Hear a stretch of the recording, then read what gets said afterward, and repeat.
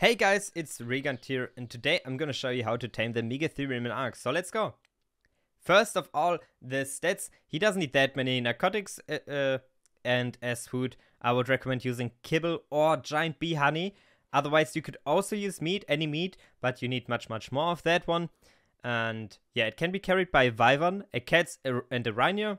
It spawns on all maps except Aberration, and the difficulty is only 2 out of 5 points because it's a pretty easy tame you would see just now and let's start taming. So, strategy number one is just to use some bear traps and also get a net gun. Then, so, then just uh, get his aggro and lure him into a bear trap. He's pretty quick, watch this one now. So, that it, he has a good speed there. So, yeah, now you can start knocking him out or uh, already use a net gun there you go. Then you're gonna just win some time to uh, knock him out. I would recommend just net gun him, lure him into like three or five traps until the cooldown of the net gun is uh, is reset, and then just net gun him again, and you should be good to go with the time, especially on a high level, also on a high level one, um, especially on a low level one. That's what I wanted to say. But yeah, you should have enough time for that one. Another strategy is to just build a completely normal timing. Uh, taming trap here.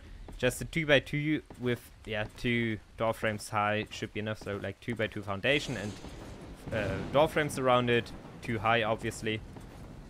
And also don't forget the ramp.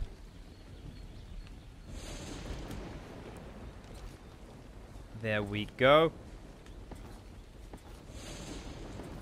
And now we need a Megatherium and just get his aggro. There we go, and he's again, and just lure him inside. You see, he can't get out of here now. He's doing some damage on the structures, but you should be you should have more than enough time to just knock him out. And yeah, so also a very easy strategy here. And another strategy is just take a cat, a wyvern, or a rhino, and just drop him into a trap here, into a taming box or anything else and oh yeah, you have to hit obviously. Um, he's not he's not running away, so don't worry about this one. If you fa fail the drop here, but now there we go. Just get off your mount then and just start knocking it out. So another uh, uh, not another strategy. The abilities. First of all, it's very strong to run caves with. Why? Because it's getting a very strong buff if you kill bugs. So get, do we get this one then? No, we don't get it. Let's go down there. Now let's kill a bug. and there we go. And now, you see the damage now? And now we killed a bug and now you see how much the damage increased. It's like a crazy buff that you get for killing bugs. So it's pretty strong to run caves with it. You can kill out anything here because nothing can kill it now. Like obviously at some point he will get into trouble, but he can kill hundreds of hundreds of uh, cave uh, dinos or bugs or anything what you want to call it. Because it's just dealing tons of damage and he's so strong against bugs. And yeah, so you can use it very good for that one. He's also very strong for some bosses. And yeah, what skills do you have besides that? You can farm berries very good like you've seen.